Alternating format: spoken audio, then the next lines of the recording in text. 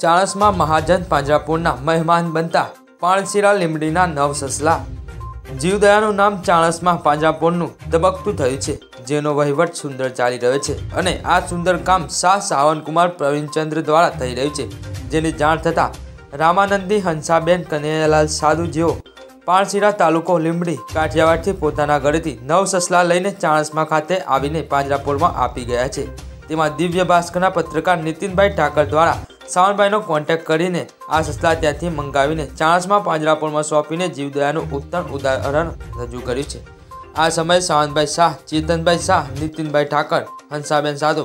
તેમના ભાઈ તથા તેમની બહેન અને પાંજરાપોળના કર્મચારીઓ હાજર રહ્યા હતા અને આ જોતા એવું લાગે છે કે ચાણસમાં મહાજન પાંજરાપોળનું નામ ગુજરાતમાં ધબકતું થયું છે.